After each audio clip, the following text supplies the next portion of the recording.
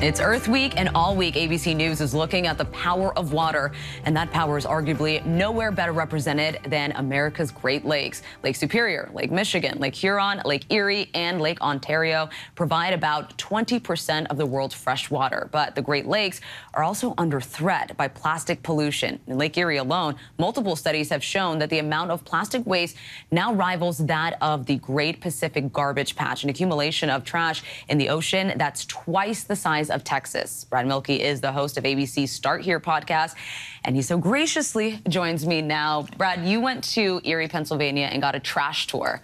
That's right. Tell us about it. I, I, know when you go to, to like yeah. a lake vacation, the first thing you want to do is go on a trash tour. Well, that's what I did. Okay. I, I went around uh, Erie, Pennsylvania with Sherri Mason. She is uh, the director of sustainability for Penn State University's campus there at Lake Erie, and she basically took me around to understand what is happening in the lake right now and just how much trash there is floating around. Now, the weird thing is when you look at the trash, when you look at the lake, and you know, you just said that out there right now are concentrations of plastic that are just as big in some cases as the famous Great Pacific Garbage Patch, where there's just you know miles and miles of, of plastic floating around. But you got there you don't see any trash. You scoop up the water, you don't really see any. And that's because it's gotten to this microscopic level. That's why we spend a lot of the day talking about microplastics, where plastic just breaks down smaller and smaller until you can't even see it anymore. But it's creating this invisible pollution problem throughout a lot of the Great Lakes. Because remember, we think of lakes as kind of just like closed systems. Well, no, Lake Erie feeds into Lake Ontario. Lake Ontario feeds into the North Atlantic Ocean, which then feeds into all the world's oceans. So this really becomes a global issue. Uh, just incredible. And part of the problem, as you mentioned, is how tiny this plastic becomes, and you mentioned it's microplastic. But did I get this right? It's the World Wildlife Fund study estimates that the average person ingests about a credit card worth of plastic. Yeah, yeah. That doesn't sound too good. Well, no, and, and it goes back to you and I don't notice this, right? It's not as if you and I are carving up our credit cards every week with a knife and fork and choking them down, but that's essentially how much plastic we're ingesting every single week because, and this was part of our trash tour, right? We took a look at how plastic, uh, how, how plastic's lives is affected. So you take your water bottle, right, that you and I drink out of all the time. Um, First of all, we checked out the street sweepers. They're depositing trash all day, and a lot of them, you know, these are full plastic water bottles. Next, though, you know, street sweepers don't pick up everything. You go to a local storm grate, and there a water bottle has been filtered out. It's sitting there. Luckily, you know, maybe it'll get caught by the next street sweeper. But while it's sitting there, the sun is shining on it, right? It's getting more and more brittle. Eventually, a car is going to drive over it, and that bottle is going to splinter. That's what happens with plastic, is this is the, the first step where it starts getting smaller than what it was originally used for. And so what happens now is it goes through the storm grate.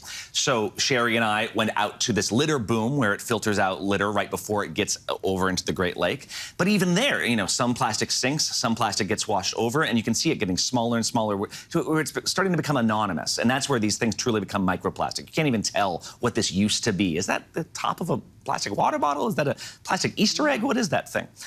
Eventually, once it gets out onto Lake Erie, the sun is making things more brittle. Water is pounding it against the, you know, these, these are the same lakes that turn stone into sand, right? So I, that, that's essentially what is happening to plastic. And while a paper bag looks just as gross as a plastic bag when it's sitting there out in the water. A paper bag basically breaks down to the elements that the Earth can continue to use within a couple weeks. So within a couple weeks out on Lake Erie, whatever. It's, it's not terrible. Plastic bag will last for decades or even centuries.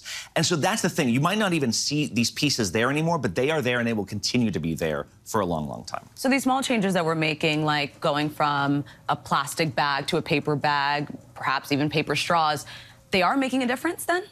Well, in terms of the, the changes that we're making? Mm -hmm. I mean, the, the, thing is that we haven't really seen that many changes recently because we are continuing to see these pieces get smaller and smaller to the point where, and I say microplastics, in some cases, these are millimeters wide. In some cases, these are nanometers wide. There are plastics right now as they continue to break down, because again, it doesn't go anywhere, that get smaller and smaller to the point where they are the width of a human hair. Once you get smaller than that, that is smaller, that's smaller than the pores in our skin. That's smaller than some of the parts of our body. So now you've got pieces of plastic making their way around inside our body, and that's why it's so concerning that we're having this much plastic uh, sort of all around us in the environment. And, and Sherri found that most of the plastic waste that she collected came from food products. Um, and so she placed the blame not on the consumers, but also the companies who sold the, the products. Yeah, let's talk about the companies for a second because we, we reached out to the Plastic Industry Association, which rep represents a lot of plastic makers, and they said, listen, our products are incredibly safe, right? And, and that's in fact why you see so many plastic materials used in the medical field because they are hygienic, um, which is true. Sherri would say that for that first use, they're single use. Yes, they are hygienic. It's after that that they become a real problem to, to the rest of us in, in our environments. Um, and meanwhile, as we talk about microplastics, the industry would also say, listen, the, the, data we've got on microplastics isn't that, we don't have so much data that we're able to tell what these tiny pieces of plastic will do to our body throughout their lives. But what Sherri has said is that, you know, you look around at all the costs that we spend when we are trying to filter this stuff out of our system, right? We talked about the street sweepers. Mm -hmm. Taxpayers pay for that, you and I, right? We talk about the storm grates and the management of those. Taxpayers pay for that. The litter booms that are filtering this out, that's all you and me. The, the, the, the health costs down the road, that's you and me. She would say companies, plastic producing companies should be more on the hook for that so that they are bearing some of this great, great cost, this almost invisible cost that a lot of us bear. It's so fascinating. Thank you, Brad. We appreciate you breaking that down for us.